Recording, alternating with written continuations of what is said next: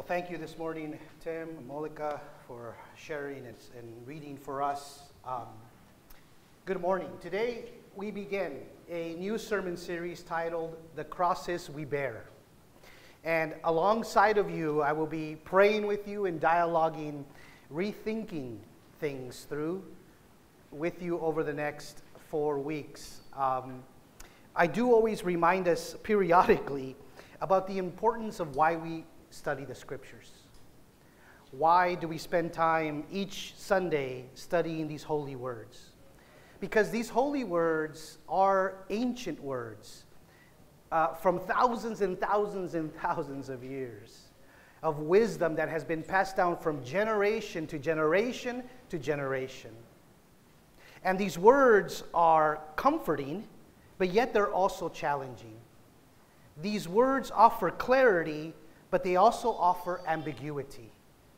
These words, they are nonviolent words, but are words that alter the way we encounter or we relate to God, to neighbor, and to all creation. So I hope you understand why we study the scriptures each week, because they're so deep and they're so profound. And yet, there are these absolute words, and yet they're always, ever evolving. But let me start with a story. It was a humid, similar like today, summer day on Chicago's North Side. The intensive summer doctoral class at North Park University was full of students quietly awaiting the arrival of their professor. Like any typical first day of class, the students were a bit nervous, unsure of what to expect. They were all new to one another. Then suddenly, the professor walks in, puts his things down, introduces himself, and immediately begins to lecture on the theme of the day. By lunchtime, all students were given a list of local eateries, restaurants, and cafes. They were dismissed, and off we went. I made a quick connection with Mark from Pittsburgh, Pennsylvania, and Abe from New York City. We decided to eat Jimmy John's. That was the first time I ever had Jimmy John's. It's such a delicious sub. Subway has nothing on it. You see, the guys could not believe, they laughed because they could not believe I had never had Jimmy John's. Apparently, it was a common sub spot in the Midwest and in the East Coast, but not in the West Coast at that time. So we were able to get to know one another, to hear a bit of one's stories, of, of our ministries. No longer were we just in the same class, but now we were friends. I graduated alongside of Mark. He and I were the first two doctoral students to complete our doctoral projects, and hence the first to complete the rigorous academic checklist. By the end of the cohort, I had multiple meetings, conversations, and meals with not only my friends but other students, but equally important with my professor. Professor Soong Chan Rah, who holds multiple doctoral degrees, authored dozens of books. He's an academic, a scholar, a, theo- a theologian, and a former pastor. But over the span of five years, as we met for these intensive courses in Chicago, in Atlanta, in Los Angeles, I tell you about this story this morning because through this academic experience, I learned an integral lesson. There is a difference between a person who attends a class and a person who is a student. I'm sure if you would ask Soong Chan Rah about me, he would assert that I'm not just an attender of his class, but indeed a student of his. And this is precisely the discipline that I would like to offer you this morning. I've titled today's sermon, Not Enough Students. You see, whenever a story begins with Jesus having to turn around and address the crowds, you know robust instruction is coming forth. And in this occasion, Jesus is compelled to spell out the costs of being a student, the costs of being a disciple. Now, in this passage, one must take Jesus' words seriously, but not literally. Did you hear me? To take Jesus' words seriously, but not literally.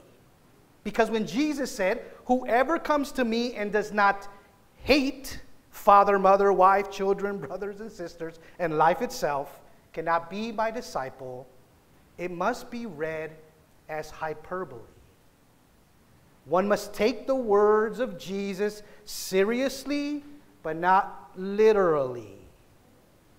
Jesus is not asking us to hate family, to hate our relationships, to hate life itself. Rather, the meaning here in the Greek is to love less or to postpone love. So it is better said this way Whoever comes to me and does not love less or postpone love for father, mother, wife, children, brothers, and sisters, and even life itself cannot be my disciple. You got to remember something. The familial relationships in antiquity were vastly different than today. Family was everything in antiquity. It represented social status, financial stability, religious standing. And for Jesus to tell this huge crowd of followers to love less or to postpone love for their nearest and dearest, now you know he wanted them to truly think about the costs of being a disciple and a student of his. And hence, the two stories about the estimation of costs how much it costs to build a tower, how much it costs to wage a war. And see, right here in this space is where I believe wisdom enters the room this morning. This is where I invite you to open your heart, your mind, your soul, your spirit to the divine, to the Holy Spirit who has come to guide us and lead us, counsel us, help us, heal us, has come to speak to us. Because today's wisdom is for those who don't want to be distant followers, but true disciples and students of Jesus. For those who enjoy calculating the costs. For those who seek to gain knowledge before deciding. For those who do the research to be well informed. And here is the wisdom to be a student of Jesus requires radical obedience, to abandon the values of this world for the values of the gospel. Let me say something about this. To be a student of Jesus in 2022 is not an easy task. To love the gospel more than one's relationships, more than one's life, is not simple. To carry the cross of the gospel takes an encounter with Jesus. You know what Dietrich Bonhoeffer said? The primary theologian of the meaning of the cross, in my opinion, writes in his book, Cost of Discipleship the cross is laid on every Christian. It begins with the call to abandon the attachments of this world that is dying of the old man, which is the result of an encounter with Christ. There is a cost to being students of Jesus. And some of us may face ridicule and arrest and persecution and betrayal and hatred and criticism. But the true cost is relinquishing the values of this world. There is opposition at work that will deter us from being students of Jesus. Are you hearing me? there is an opposition at work that will deter us from being disciples of Jesus. And those are the values of the world relationships, possessions, wealth, life itself. But you would say to me, Pastor, isn't that all good things? I think one must admit that some of these things are necessary for life today. any psychosocial professional would admit that relationships are a vital part of living. They would advocate for good support systems, parents, friends, siblings, a partner, a spouse. Any competent financial advisor would recommend sound strategies to meet your financial goals. Any life coach would help the individual find their life goal, develop a plan, provide motivation, and assist the individual to reach their life goal. See, the point is this relationships, financial and personal goals, life itself, it is all good. And Jesus is not denying that. Jesus is not discouraging the pursuit of such good things. He is not impeding you from obtaining such goals. Rather, what Jesus is doing is advising us. Is advising us that these things must not become more valuable than Him, more valuable than the gospel. That we cannot use such things to be used as excuses for not being disciples, that they should not get more attention than they should. You know, I guess what I'm submitting to you this morning is this that true disciples and true students of Jesus, they live by the values of the gospel. And the values of the gospel are countercultural. Think about it. Love your enemies. Overcome evil with good. The last will be first. Pray about everything and don't worry about anything. Stand with those who are oppressed with the underbelly of the world. Do you see how these values are countercultural to our society and world today? And these values cost something. They cost much courage, much boldness, they cost much humility to live into those values today. But sadly, what the church has done has created an abundance of distant followers and very few disciples of Jesus. Are you hearing me? And so today, I want us to begin to understand the importance of becoming a student and not just an attender. Because it is my belief that the world needs right now is more true disciples, more true students, more individuals who are willing to live by the countercultural values of the gospel. Could it be that American Christianity has created a multitude of consumers? of good music, consumers of good programming, of good facilities, of good sermons. Christians who bear the name of Jesus but do not bear the cross of Jesus. Christians who are, instead of following the countercultural values of Jesus, abide by earthly values. They hate their enemies. They overcome evil with evil. They worry about everything and do not pray about anything.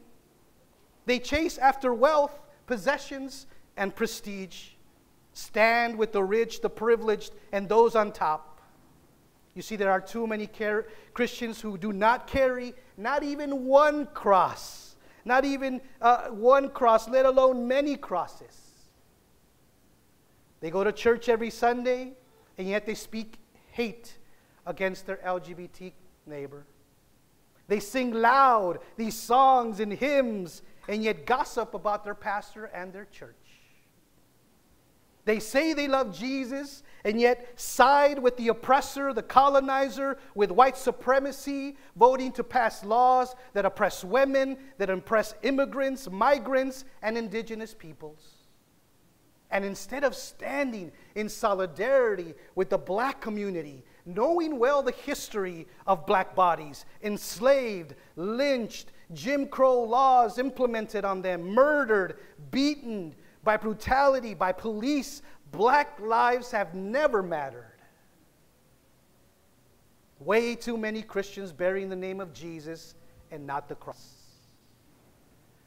You see, instead of being a person of prayer, trusting in God, they are a person of worry, always anxious. No wonder they cannot bear the cross of giving and tithing. They never pray about it. They give of their financial treasures without generosity. And I ask, where are the generous students of Jesus who don't worry about money? Do you see the difference between the distant followers of Jesus and the true students of Jesus? There is a massive difference. One should not wonder why the American Christian church stands where it stands today. They've created too many distant followers and not enough disciples. Not enough students living out the countercultural values of the gospel. And things must change. Some church, somewhere, should actually attempt to be Jesus' students for the sake of the world. Some group of people, perhaps on an island in the middle of the Pacific Ocean, should not just attend a class by Jesus, but, not, but seek to be true students of Jesus. I wonder who I'm talking about. You see, Jesus is the embodiment of the values of the gospel did not hide anything, instead, told us, Consider the cost of being my student. Not only was he willing to carry a cross, but he was willing to die on a cross. Takes away our sins, burdens, mistakes, failures, our half hearted attempts, and gives us his forgiveness, his grace, his successes, and his righteousness. And resurrected from the dead three days later to give us the apex of reality, the, the omega point of history. But what shall we do with such good news? What shall we do with such forgiveness, with such a second chance? You know, tomorrow doesn't have to be like today. We can begin to live like true students of Jesus today, right now. We can begin to live by the values of the gospel today, right now. We don't have to do this on our own. We don't have to do this alone. Remember, the divine who calls you to such beautiful values walks with you day in and day out, meets you right where you are, and will be with you at the end of it all. You don't have to do it alone.